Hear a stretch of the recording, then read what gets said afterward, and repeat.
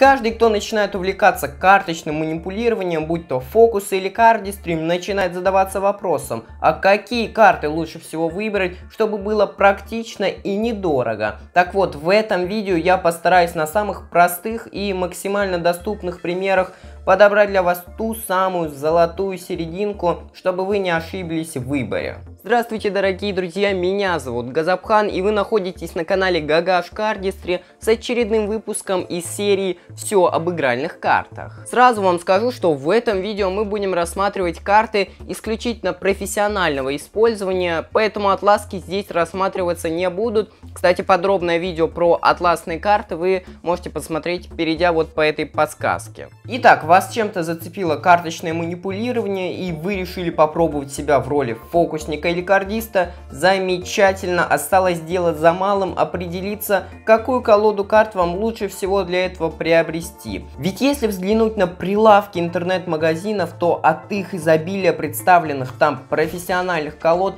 просто разбегаются глаза. Этих карт реальная тьма. Да каких карт там только нет. Пластиковые, полупластиковые. А кто-то говорит, что полупластиковые карты это те же самые бумажные карты, но только с пластиковым покрытием. А вот покрытие у них бывает разное. Ну как же тут не запутаться? Про выбор цветов и рисунков рубашек я вообще молчу. А если еще начать сравнивать их цены, как это вообще можно понять, что одна колода стоит 500 рублей и та же самая колода, только чуть-чуть другого цвета, стоит уже 5000 рублей. Стоп, не нужно паники, сейчас я вам все быстро расскажу. Начнем с того, что все карты, которыми пользуются фокусники, кардисты и даже карточные шулеры, они все имеют стандартный размер и называется он покерным. Также все карты профессионального использования для этих категорий людей Давайте возьмем. Это изготавливается исключительно из бумаги, картона высокого качества, на который наносится пластиковое напыление, что делает эти карты долговечными и упругими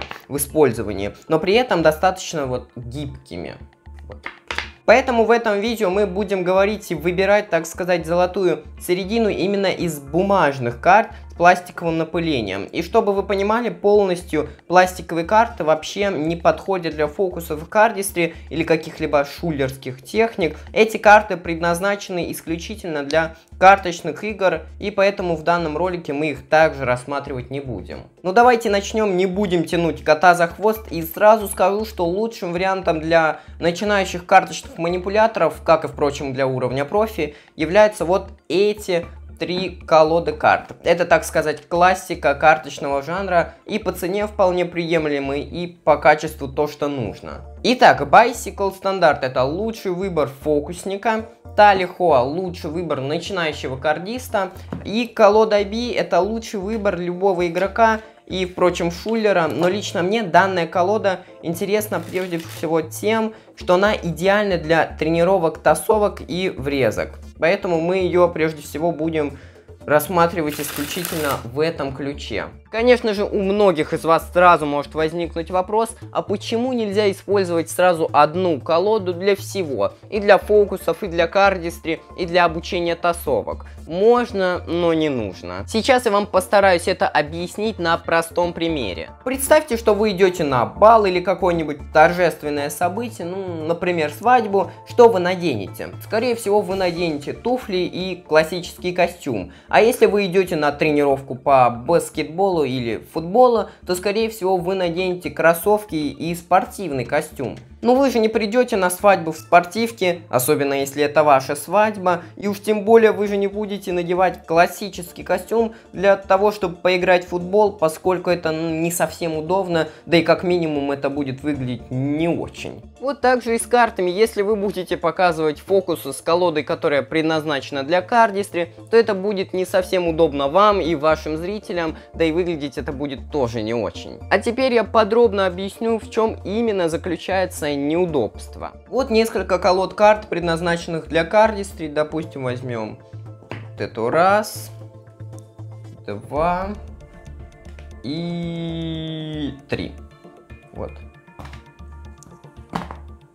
И первое отличие, как мы видим, это их яркая раскраска. Дизайн у этих колод, конечно же, очень привлекателен, и именно это как раз-таки является основным и первым неудобством для показа фокусов такими картами. Просто у вашего зрителя, которому вы будете показывать фокус такой яркой колодой, невольно будет возникать сомнение в том, что ваша колода обычная, и ваш зритель постоянно будет думать, что эти карты какие-то крапленые или меченые. И еще очень важный момент, не на всех колодах есть отчетливые видные индексы и масти карт. Допустим, какой этой колоды, вот видите, лица вот вообще непонятно, что это за карта, допустим.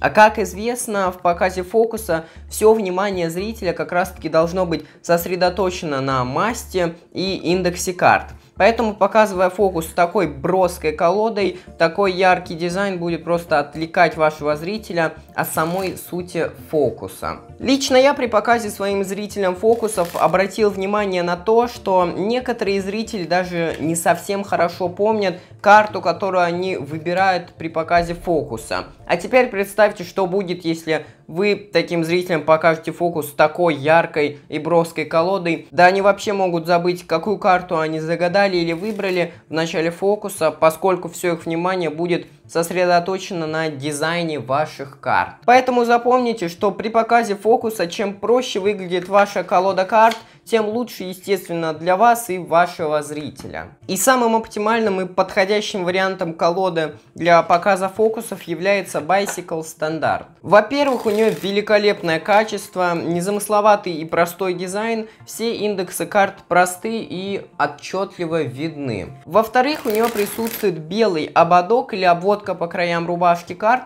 а для показа многих карточных фокусов такая белая окантовка по краям желательно. И даже она очень важна. Поскольку она позволяет сгладить и скрыть некоторые визуальные незначительные недочеты при использовании различных пассов, сменок, которые фокусники используют во время показа своих фокусов. В-третьих, Bicycle стандарт, несмотря на свою упругость, являются довольно мягкими, что делает их весьма податливыми при использовании их фокусниками. И, наконец, последнее из основных преимуществ, так это то, что у этих карт самая низкая цена из всех профессиональных колод. Ее средняя стоимость около 250 рублей. Еще раз хочу подчеркнуть, что это ее средняя цена на сегодняшний день. То есть в каком-то магазине вы можете ее купить и дешевле, а в каком-то и дороже. Есть, конечно, и другие варианты колод с приблизительно одинаковыми характеристиками, но они уже будут стоить чуть-чуть подороже,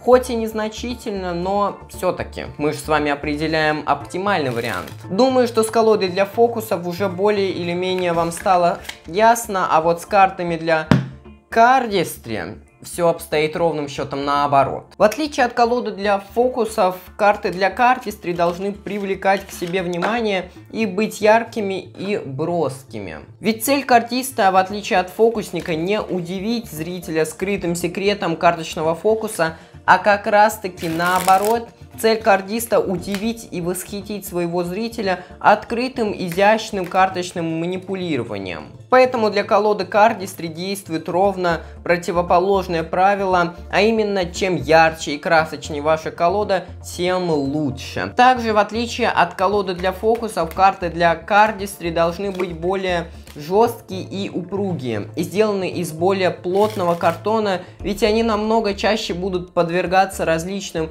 нагрузкам, чем карты, конечно же, для фокусов. Хотя некоторые кардисты предпочитают использовать карты для кардистри даже более мягкие, чем Bicycle стандарт, допустим, вот как Touch, она вообще намного мягче, чем обычные Bicycle стандарт, прям очень мягкая. Но опять же, речь идет, конечно же, о кардистах, которые практикуют кардистри уже не один год, то есть имеют немалый опыт их использования. Новичкам же будет просто не очень удобно использовать такую мягкую колоду для кардистри.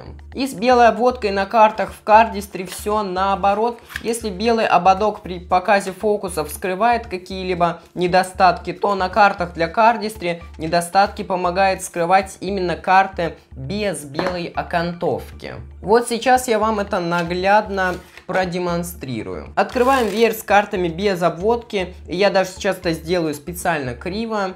Вот, немного вот так, вот так, так кривоватенько. Но как вы видите, это не очень так уж и заметно. А теперь то же самое сделаем, но с колодой, где присутствует белая обводка. Давайте сначала сделаем идеальный веер. Вот, как все видно.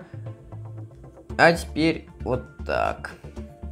Как вы видите, любые недостатки сразу прям уж видны. Поэтому, если картист хочет подчеркнуть красоту своего веера и показать свой профессионализм, то в основном он использует колоду именно с окантовкой. Дабы показать окружающим, что он действительно про и не скрывает каких-либо недочетов, но это сравнивание, как правило, происходит в основном между самими кардистами, а для обычного зрителя это вообще никак не актуально. Так почему же Талиха идеально идеально подходит для кардистри, ведь ее рубашка не такая уж и яркая. Все очень просто, эта колода в основном как раз предназначена именно для тренировок. Ее картон очень плотный, вот прям плотный, и обладает большим ресурсом использования, чем Bicycle стандарт, а ее белая обводка показывает вам на ваши ошибки в ваших тренировках, и то, насколько хорошо или нехорошо вы делаете свои веера. А ее доступная цена делает эту колоду вдвойне приятной, ведь ее средняя стоимость на сегодняшний день около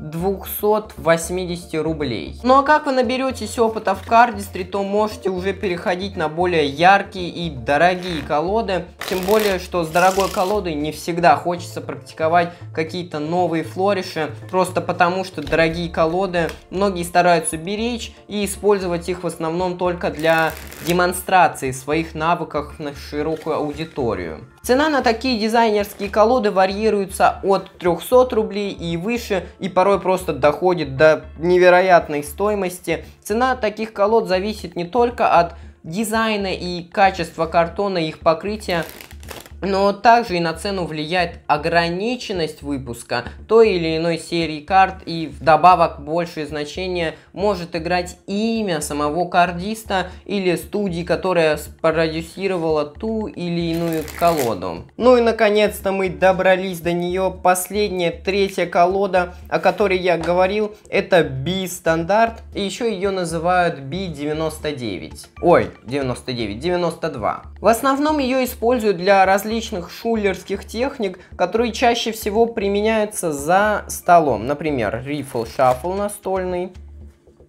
вот. Но как я уже об этом упоминал ранее, для меня эта колода прежде всего была интересна для тренировок врезок и тасовок. Дело в том, что эта колода даже по ощущениям несколько тоньше, чем Bicycle стандарт, но тем не менее ее картон плотней и имеет очень скользкое пластиковое напыление, и благодаря этому с ними можно идеально тренировать, например, фару шаффл, вот оно, фару шаффл. И при этом они почти вообще не будут притупляться или портиться. Например, эту колоду B я уже использую 3 года, и выглядит она, ну, на 4 с плюсом. Сами понимаете, что срок не маленький. Средняя стоимость, кстати, этой колоды 300 рублей. Итого все три эти колоды обойдутся вам в среднем около 900 рублей. Поэтому, если вы только начинаете осваивать и познавать азы карточного манипулирования, вам не стоит тратить лишние деньги в поисках какой-то совершенной колоды в надежде на то, что она вам прослужит долгое время и выкладывать за нее 1000 рублей и более. Покупка всех этих трех колод вам может обойтись меньше 1000 рублей и вы получите полный, так сказать, универсальный пакет на все виды своих тренировок и показов фокусов. И будьте уверены, что при бережном обращении эти колоды вам прослужат не один год. И если вам понравилось это видео, то кликайте на лайк, подписывайтесь на канал, нажимайте на эту красную кнопку, чтобы она становилась серой, и нажимайте на колокольчик, чтобы не пропустить моих новых видео. Всем удачи, всем пока-пока.